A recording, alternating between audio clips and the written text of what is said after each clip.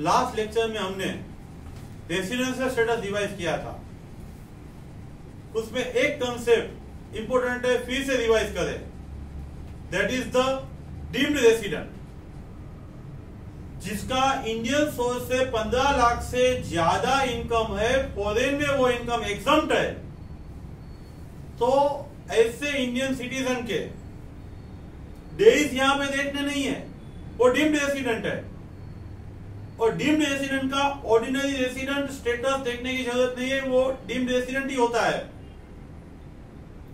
Second हम start करने वाले हैं आज house property second head of the income tax first way of in the salary second house property charging section section 22 house property में सबसे पहले क्या रिक्वायर्ड है? सेक्शन 22 क्या बोल रहा है? Land and appurtenant thereto open vacant land नहीं. लैंड के साथ कुछ अटैच है. कुछ मकान है. और मकान के साथ कुछ पार्किंग है. बैकयार्ड है कोर्टयार्ड है. वो सब हाउस प्रॉपर्टी में कवर होगा. Second thing that is the ownership owner हूँ मैं इस प्रॉपर्टी का? तो ही मुझे हाउस प्रॉपर्टी अप्लाई होगा. थर्ड, ये प्रॉपर्टी मैंने बिज़नेस यूज़ नहीं किया होना चाहिए। बिज़नेस यूज़ किया है तो बिज़नेस में उसका इनकम आ गया है और बिज़नेस में डीम्ड रेंट अलाउड नहीं है। इसीलिए बिज़नेस के लिए जो प्रॉपर्टी यूज़ करते हैं, उसका जीएवी उसका रेंट एचपी में टैक्सेबल नहीं होगा। सेकंड कंडीशन हमने जो ओनरशिप देखा ओनरशिप में आपको याद रखना है ownership includes the deemed owner what is the deemed owner deemed owner में मिस्टर एक्स ने मिसिस एक्स को without consideration house property transfer कर दिया है। तो मिसिस एक्स को जो रेंट जनरेट होगा, वो मिस्टर एक्स में टैक्सेबल होगा। फ्रेंड उसमें एक एक्सेप्शन का एक्सेप्शन है। Agreement to live apart x and Mrs x अलग हो रहे हैं। माइनर मेरी डॉटर को प्रॉपर्टी विदाउट कंसिडरेशन दे रहे हैं। तो क्लबिंग नहीं होगा एक्स डीम्ड ओनर नहीं माना जाएगा। डीम्ड ओनर है तो एक्स को एचपी अप्लाई हो सकता है, होगा। सेकंड डीम्ड ओनर में 53 ए पावर अटॉर्नी एक्स ने वाई को प्रॉपर्टी दे दिया कंसिडरेशन ले लिया, लिख के एग्रीमेंट कर दिया। लेकिन अभी रजिस्टर्ड दस्तावेज़ डीड नहीं हुआ है तो भी वाई डीम्ड ओनर हो जाएगा। कोऑपरेटिव सोसाइटी है। उसके नाम की ज़मीन थी। उसने अपने मेंबर को एक एक शेयर दे के शेयर अलॉट करके प्रॉपर्टी ट्रांसफ़र कर दी है। By way of the share तो यहाँ पे मेंबर डीम्ड ओनर माना जाएगा। Impartible estate due to convention जो बेनिफिट ले रहे हैं, उसको डीम्ड ओनर माना जाएगा। Two six nine UA twelve month के लिए किसी को रेंट पे दिया। और ट्वेल्व बार रिन्यू किया तो टेनेंट डीम्ड ओनर माना जाएगा। इसीलिए तो प्रैक्टिकल मार्केट में रेंट एग्रीमेंट इलेवन मंथ का होता है। इलेवन मंथ का है और हंड्रेड बार रिन्यू करते हो तो भी टेनेंट डीम्ड ओनर नहीं होगा। लेकिन 12 मंथ तो उसके ज़्यादा पीरियड के लिए रेंट पे दिया है, और रिन्यू करके टोटल पीरियड 12 ईयर हो जाएगा तो टेनेंट है वो डीम्ड ओनर माना जाएगा। Friends composite rent what is composite rent हम हाउस प्रॉपर्टी के साथ में सर्विस देते हैं। हम हाउस प्रॉपर्टी के साथ असेट भी देते हैं। तो उसका जो रेंट मिलता है, उसको कंपोजाइट रेंट बोलते हैं।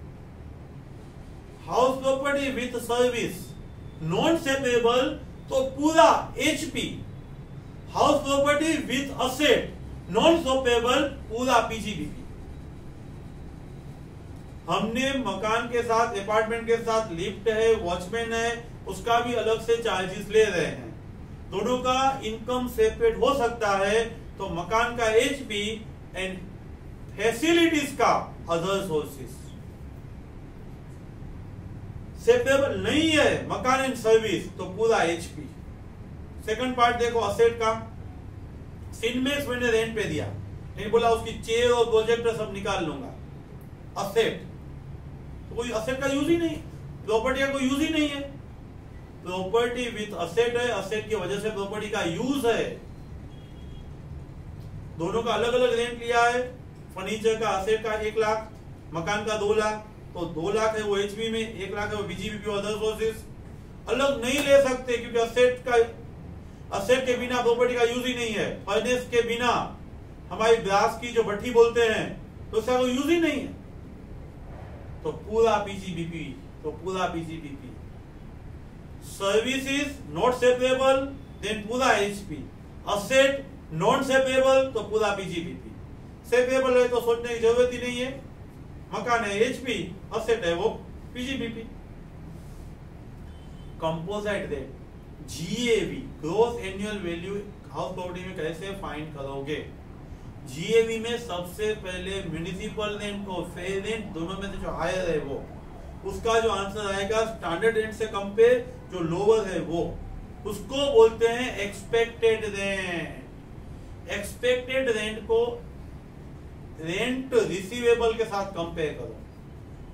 विच एवर इज़ हायर सबसे पहले म्यूनिसिपल फे विच एवर इज़ हायर उसका answer and standard rent whichever is lower और उसका answer and rent realisable receivable whichever is higher उसमें से loss of vacancy less and final answer आ जाएगा G A B लेकिन हम जब थर्ड स्टेप में रेंट रिसीवेबल फाइंड करेंगे annual rent minus unrealisable rent unrealisable rent तभी अलाउड है कि फोर कंडीशन सेटिस्फाइड होगी। टेनेंसी बोनाफाइड है, वही मकान वेकंट करवाने के लीगल स्टेप लिए हैं रेंट कलेक्ट करने के लिए भी लीगल स्टेप लिए हैं, और उसी बंदे के पास हमारी और कोई प्रॉपर्टी रेंट पे नहीं होनी चाहिए। तो ही आपको अनरियलाइज डिडक्ट मिलेगा। म्यूनिसिपल फेयर रेंट हायर उसका answer standard rent lower standard rent and rent receivable higher उसका आंसर में से loss of vacancy loss of vacancy में annual rent divide by 12 multiply number of month vacant वो less करने के बाद GAV आ जाएगा. जीएवी में से म्यूनिसिपल टैक्स लेस करो. म्यूनिसिपल टैक्स कब लेस होगा? ओनर पे कर रहा है और ड्यूरिंग द ईयर पे किया है तो ही म्यूनिसिपल टैक्स लेस होगा. आंसर आएगा N A B N A B में से thirty percent fix deduction allow होंगे. थर्टी परसेंट डिडक्शन अलाउ होता है. इसीलिए ही मकान के रिलेटेड रिपेयर रिन्यूअल्स और कोई एक्सपेंस अलाउ नहीं होंगे. 30 percent standard deduction and interest on borrowed capital ये दो ही सेक्शन 24 में डिडक्शन एचपी को मिलेंगे. इंटरेस्ट ऑन बोरोड कैपिटल में एलओपी में कोई कंडीशन नहीं, कोई लिमिट नहीं. एसओपी में लिमिट है। इंटरेस्ट दो पार्ट में डिवाइड होगा। Pre construction and post construction post construction period यानी हमारा मकान कंप्लीट हो गया है। करंट ईयर में थर्टी फ़र्स्ट मार्च के दिन कंप्लीट होता है ना तो भी पूरा करंट ईयर पोस्ट माना जाएगा। जिस ईयर में मकान कंप्लीट हुआ है, उसी ईयर से post construction post construction actual base पे जितना आप अप्रूव होगा पे करोगे उतना आपको रिस्पेक्टिव ईयर में अलाउ होगा। पोस्ट के बाद में प्री देखो, वही इंपॉर्टेंट है। जब से लोन लिया, तब से लेके आइदर लोन रिपेमेंट डेट और thirty first March preceding the house complete whichever is earlier loan कब लिया, तब से लेके लोन भरा, वो पहले है या मकान कंप्लीट हुआ, उसका थर्टी फ़र्स्ट मार्च अगला पहले है। वहाँ तक का प्री कंस्ट्रक्शन लोन मैंने लिया है one one two thousand eighteen में। मकान कंप्लीट हुआ है थर्टी जून ट्वेंटी टू में। तो थर्टी जून ट्वेंटी टू का अगला थर्टी फ़र्स्ट मार्च, यानी thirty first March twenty two और लोन रीपे दोनों में से जो अर्लियर है ना, तब तक का इंटरेस्ट प्री कंस्ट्रक्शन माना जाएगा। ऑब्वियसली कॉमन सेंस से लोन रीपे कर देते हैं तो वहाँ से इंटरेस्ट स्टॉप हो जाता है। वहाँ तक का टोटल इंटरेस्ट फाइन करो लोन लिया से, लिया है तब से लेके पे किया तब तक, और मकान कंप्लीट हुआ उसका अगला थर्टी फ़र्स्ट मार्च, जो पहले है वो। वो करने के बाद, जिस ईयर में मकान कंप्लीट हुआ है, वहीं से पाँच इक्वल इंस्टॉलमेंट में मकान कंप्लीट हुआ वो ईयर और उसके बाद के नेक्स्ट फोर ईयर आपको प्री कंस्ट्रक्शन अलाउड होगा मैक्सिमम लिमिट एलओपी में कुछ नहीं है। एसओपी में वन फोर नाइनटी नाइन के बाद लोन लिया है, पाँच साल में मकान कंप्लीट किया है और नए मकान कंस्ट्रक्शन और परचेज के लिए लिया है तो दो लाख का लेंगे लेकिन आपने वन फोर नाइनटी नाइन से पहले लिया रिपेयर के लिए लिया, पाँच साल में मकान कंप्लीट नहीं हुआ है तो उसमें थर्टी थाउज़ेंड ही आपको रिटर्न मिलेगा।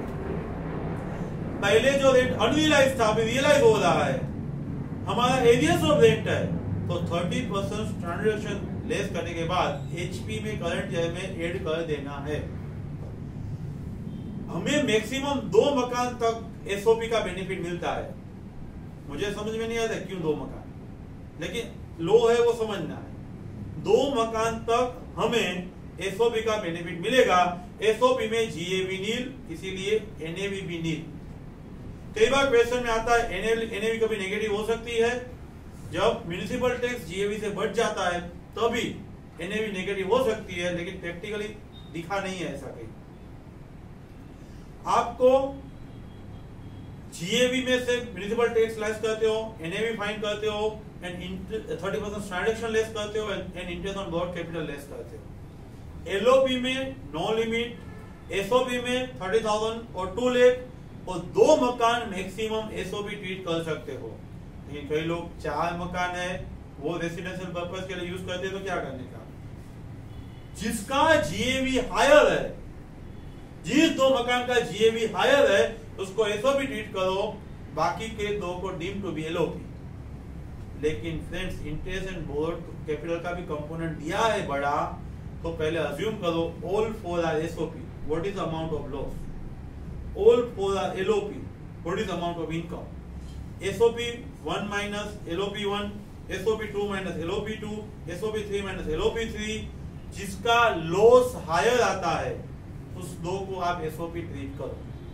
ऑन बोर्ड कैपिटल का कंपोनेंट है तो एसओपी माइनस एलओपी करके हायर लॉस को एसओपी आप ट्रीट करो लेकिन friends part of the year आप रहते हो, बाकी आपने रेंट पे दिया है तो एक्सपेक्टेड रेंट फुल ईयर का लेना है। और एनुअल रेंट जितने मंथ आपने जितने मंथ आपने रेंट पे दिया था ना, उतने ही मंथ लेना है। लॉस ऑफ़ वैकेंसी लेस नहीं होगा, क्यों आप उसमें रहते हो। फ्रेंड्स बने रहे मेरे साथ। हर एक टॉपिक के रिवीजन वीडियो मिलेंगे। जिसने मेरे पास ये पूरा हेड लर्न किया है, वही पंद्रह मिनट में रिवाइज कर पाएगा।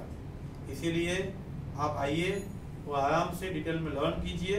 बाद में रिवीजन वीडियो सुनिए। अदरवाइज़ डिटेल वीडियो बुक सामने रख के सुनिए। एग्ज़ाम के अगले दिन रिविजन में ये वीडियो काम आएगा। अपने फ्रेंड को शेयर करो चैनल सब्सक्राइब करो एंड हमारे प्ले स्टोर के तेजवान इंस्टीट्यूट पे आप एप्लीकेशन पे जाओ। वहाँ पे सिक्वेंस में परफेक्ट वीडियो आपको मिलते रहेंगे। Thank you very much